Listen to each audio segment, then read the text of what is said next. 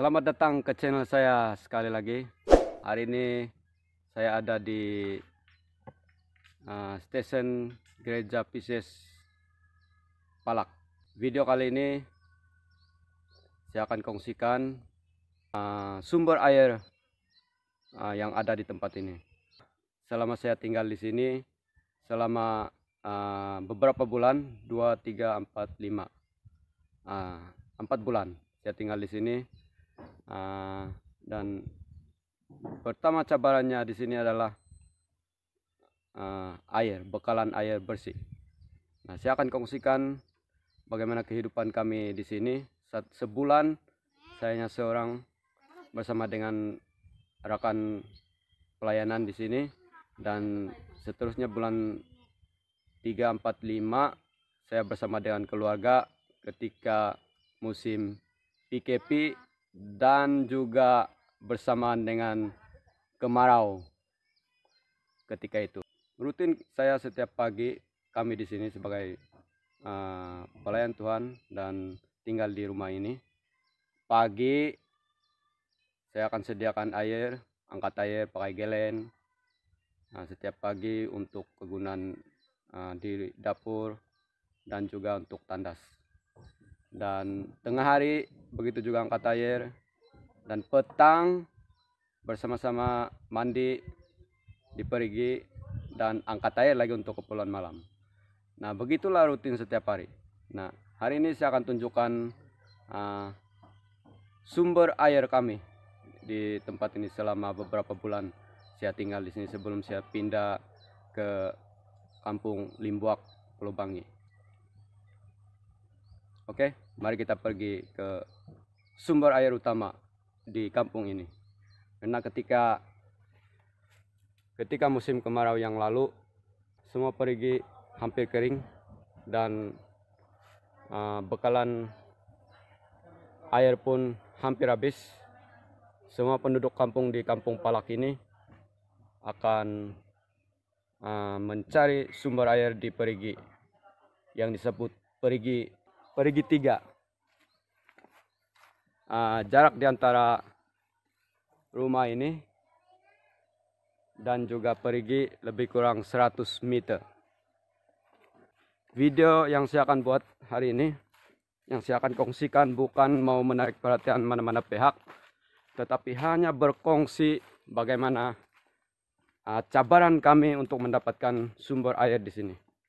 Kepada mereka yang mau menyokong pelayanan saya teruskan menonton dan jangan lupa subscribe siapnya channel. Ini adalah perigi. Perigi 3 yang terletak di kampung Palak Pulau Banggi. Pulau yang terbesar di Malaysia. Inilah dia. Perigi ini tidak terlalu dalam. Karena di dasarnya sudah ada batu. Sudah ada batu. Dan di tengah ini yang paling dalam. Pengalaman kami mandi di sini uh, ini saja yang uh, mampu bertahan beberapa hari untuk kegunaan harian kami di sini. Dan ini paling jernih ini air untuk uh, min untuk kegunaan mi diminum.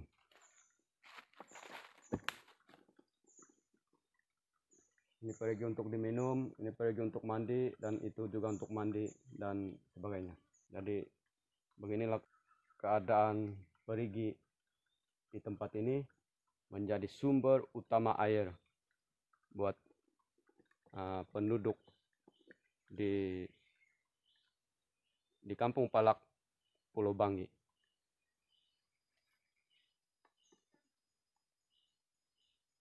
Uh, siapa yang pernah pergi sini komen saja di ruangan komen bahwa kamu pernah mandi di sini dan ceritakan pengalaman Anda bagaimana. Ini yang disebut perigi tiga. Dibina pada tahun ada tandanya itu. Dibina pada tahun berapa? Oh sudah hilang. Tidak nampak. Ya oh ya.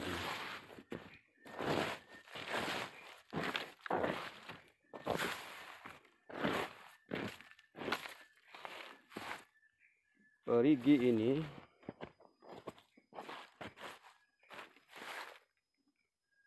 perigi telah dibina pada 10 hari bulan Mac 2005 berarti sudah berapa tahun? 2015 10 6 16 17 18 19 20 15 tahun. Maksudnya perigi ini dibina uh, asas asasnya yang uh, kuat dibina pada tahun 2005 maksudnya sudah sudah 15 tahun. Ini memang tidak pernah kering menurut penduduk kampung dan memang waktu kemarau panjang semua yang memiliki perigi di kampung ini kekeringan.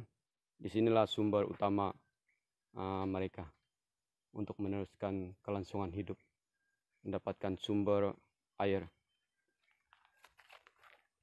Mari kita balik. Ini inilah laluan kami. Sehari tiga kali ulang alik untuk mendapatkan air.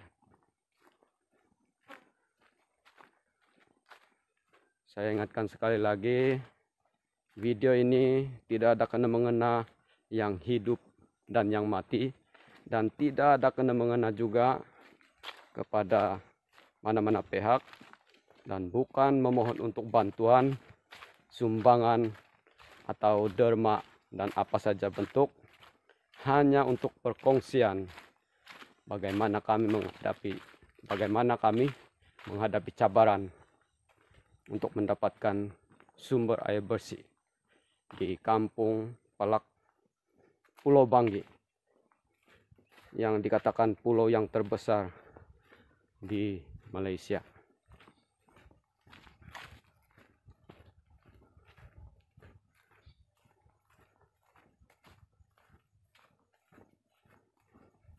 Hmm.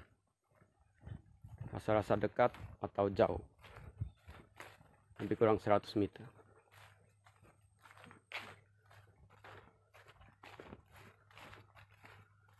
kurang 100 meter itu saja untuk video perkongsian kali ini semoga manfaat semoga memberi satu iktibar buat kita bagaimana kehidupan kami di Pulau Banggi ini yang dikatakan bahwa pulau yang terbesar di Malaysia. Terima kasih kepada mereka yang menyokong pelayanan saya. Uh, sampai saat ini jangan lupa share video ini dan komen dan juga yang belum subscribe channel saya tolong subscribe karena subscribe itu adalah percuma dan itu adalah tanda kau menyokong uh, pelayanan saya selama ini. Terima kasih, jumpa lagi. Tuhan Yesus memberkati.